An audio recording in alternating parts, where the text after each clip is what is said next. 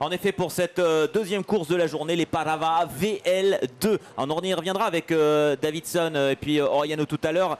chaque catégorie de handicap est différente. Alors il y a plusieurs catégories VL1, VL2, VL3.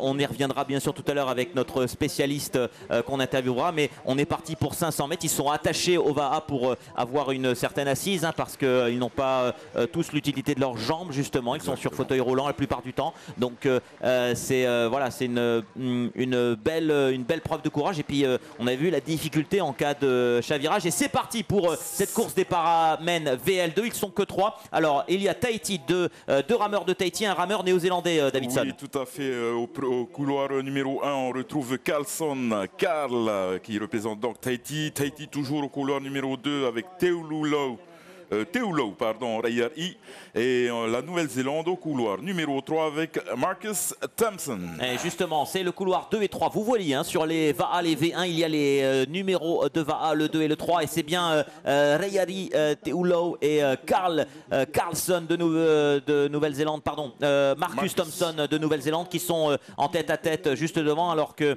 Carl Carlson, que on voit à l'image, voilà, est en troisième place pour l'instant, mais on va certainement avoir un duel, André, entre ces deux rameurs qui ne lâchent rien pour l'instant.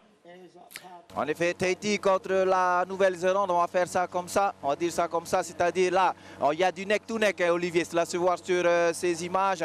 Et j'attire encore votre attention sur le courage de ces Eito Myanmar. Le ah, il faut se caler à l'intérieur. Eux, ils sont attachés, ils sont attachés sur leur siège. Et imaginez, euh, quand ils chavirent, ça c'est le travail alors de Tamatoa Pérez, de ne pas les faire paniquer, de les rassurer. C'est tout ce travail-là que l'on ne voit pas là aujourd'hui, puisque regardez, ils rament comme s'ils étaient valides. Et c'est ça qu'il faut euh, mettre en avant, le travail depuis deux ans euh, de ces Aito et surtout de leur coach Olivier. Et le combat toujours Tahiti Nouvelle-Zélande. On vient de passer les 250 mètres, hein, quand vous voyez cette caméra avec les drapeaux au milieu, euh, proposé par notre réalisateur Patrick Mirakian et toutes nos équipes, c'est la ligne des 250 mètres. Oui, on vient de passer à la moitié donc de cette distance de 500 mètres, 250 mètres. Et toujours Marcus Thompson euh, qui est en avant-course, euh, juste à une pirogue euh, devant notre ami donc Carlson. Teulo pardon.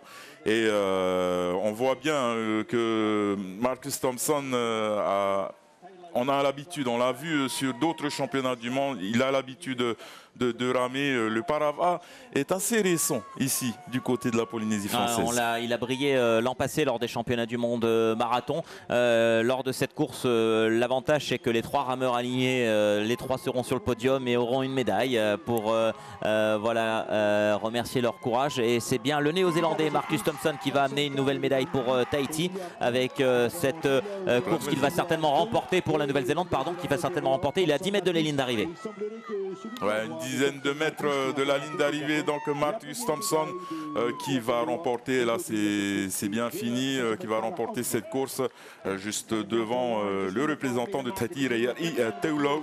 Et on retrouve à la troisième place Carl Carlson. Voilà, bravo pour cette course. Les para VL2, victoire de Marcus Thompson de Nouvelle-Zélande devant Reyari Teulo de Tahiti. Troisième place pour Carl Carlson de Tahiti. Voilà pour les trois premiers de cette course.